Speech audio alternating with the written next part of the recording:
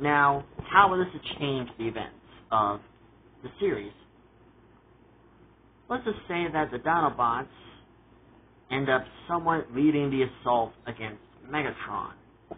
And, well, unlike Ultra Magnus, who kind of gets his butt whooped by Megatron,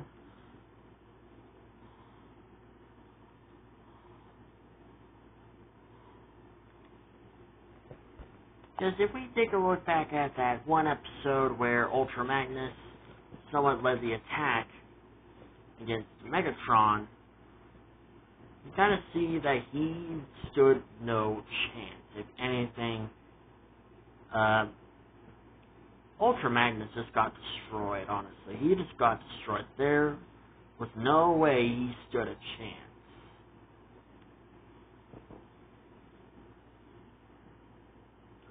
But if you bring someone or some people like the Dinobots, I'm pretty sure things would go differently.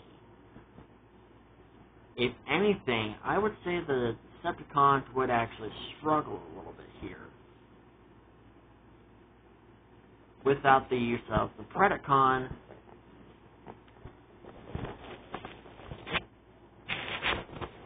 there will be no way that Team Prime would win. Oh, the Decepticons would win, my bad. Team Prime would most likely win. Like, most likely, possible. Like, if we take a look back at the original episodes of Transformers Prime, we saw that the only way how Team Prime was managed to get rid of the Predacon was by simply opening up a ground bridge to send him to Antarctica where he froze. That was only a temporary solution until, well, in the later episode, he made a comeback. But since the Predacon is dead in this in this what if, that means that Decepticons will not be able to use this particular Predacon again. Meaning that a new Predacon will have to take his place if Shockwave wave ever makes one.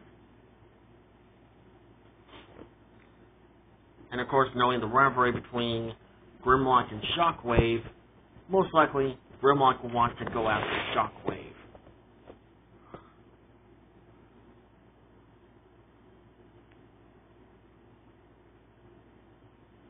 But we can kind of say that one of the Dinobots was managed to remind Grimlock that they need to save the planet first. And then Grimlock can have his revenge. Can settle the score for what Shockwave did to him. We could say that Shockwave went, ran through a lot of experiments to Grimlock, like in Transformers Fall of Cybertron, aka the most popular Transformers game in history. Or even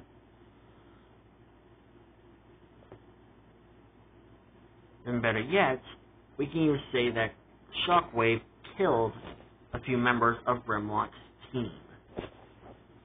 And Grimlock wants to settle the score. But I'm pretty sure he would listen to his friends, and of course, he will resume the mission to destroy the tower if all of the Dinobots gang up on Megatron, I'm pretty sure there'll be no way that Megatron would stand a chance.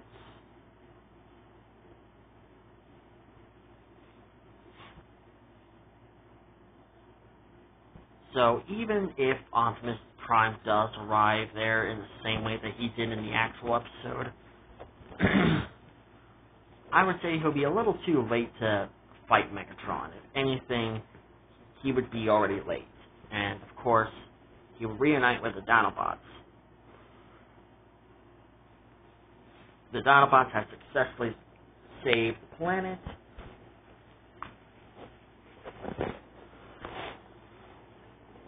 And, of course, all is well ends well. Well, maybe except for the Decepticons. Because we just say that some of the Decepticons lost a lot of valuable members to their cause.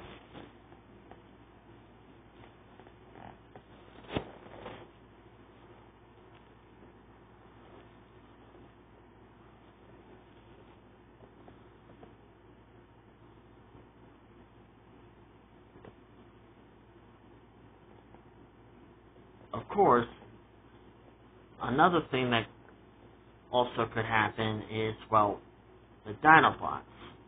You see, in the Transformers Prime series, the Autobots have to be in vehicle form in order to somewhat disguise themselves around when they're going through like towns or cities or stuff like that. Since the Dinobots, well, have dinosaur forms, that would be difficult for them to travel around. If anything, I think Optimus Prime could suggest Grimlock and the Dinobots to, like, probably go into secure areas, maybe like, say, forests or anything that can cover them.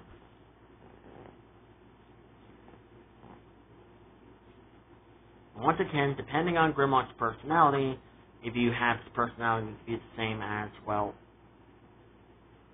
War for Cybertron, Grimlock, then basically, uh, I'm pretty sure he would disagree, or maybe he could agree.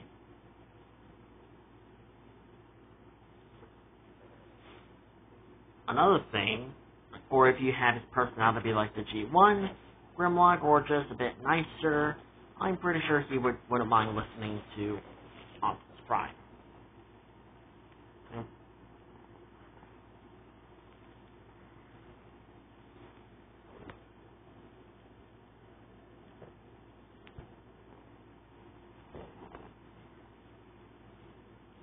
Of course, Megatron would be devastated at this humiliating defeat.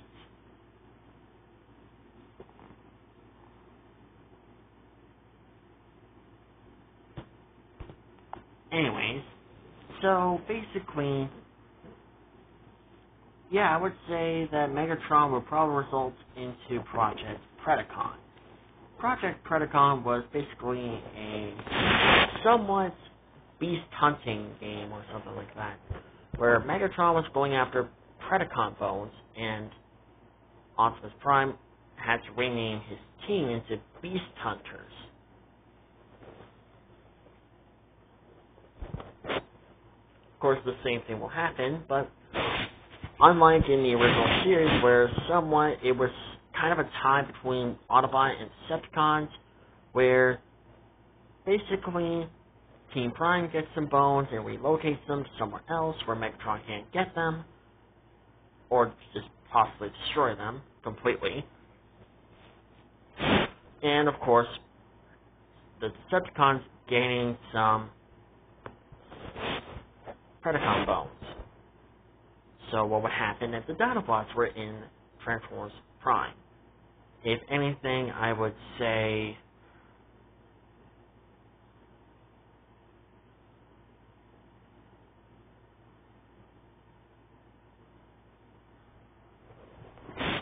most likely,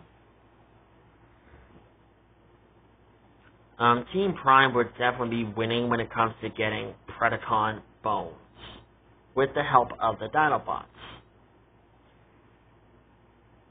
If anything, I think it would be kind of rare for Megatron and the Decepticons to gain a Predacon bone.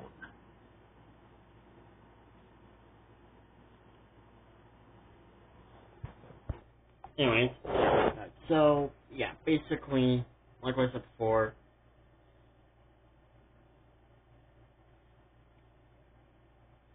um, the Predacon Project Predacon would take far, far longer than it did in the actual series.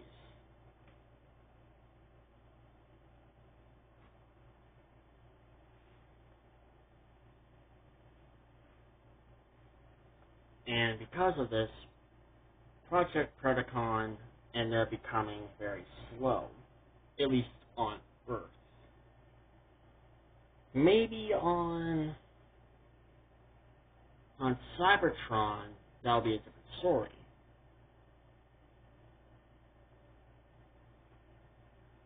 On Cybertron, it might be a little easier for them, unless Team Prime makes a space bridge and they make their way to Cybertron and start destroying all the remains of the Predacons. if that does happen,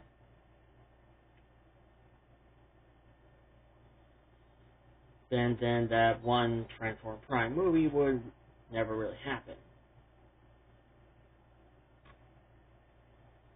Just without that movie, we would not get like an epic showdown between Optimus and Unicron, and of course a Megatron redemption arc.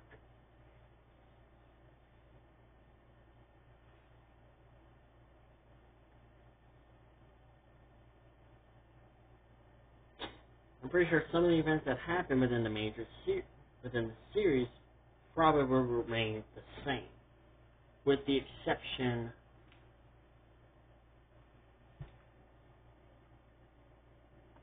of probably Project Predacon. If anything, I think Project Predacon would still end up being destroyed, just like the main timeline.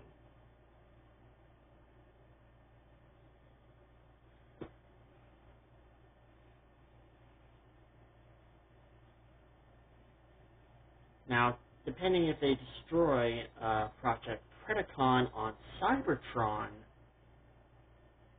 then it could be possible, rather, two ways.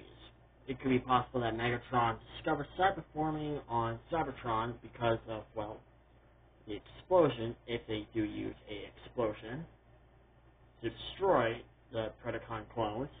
If they don't, then most likely Megatron will not discover cyber were forming, and as a result, he would not be so hell bent to rebuild, um, to rebuild the um, Omega Lock, which this was a big deal for the last few episodes of Transformers Prime. Because with that,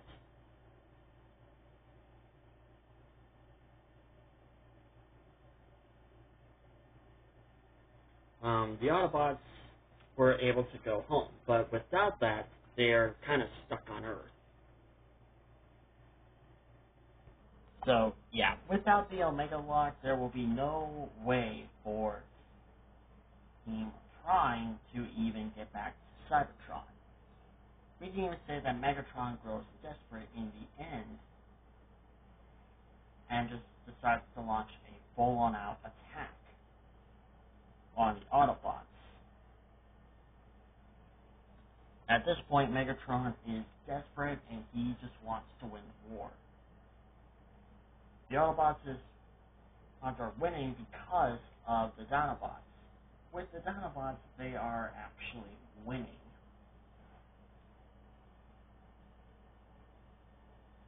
And this would probably result in the death of Megatron, just like in the original series.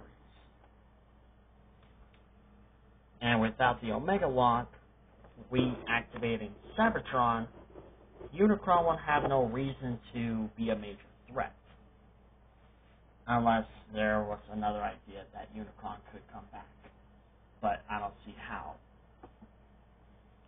So, there you go. There's my what if on what if the Dinobots were in Transformers Prime. Basically, a lot of things would change.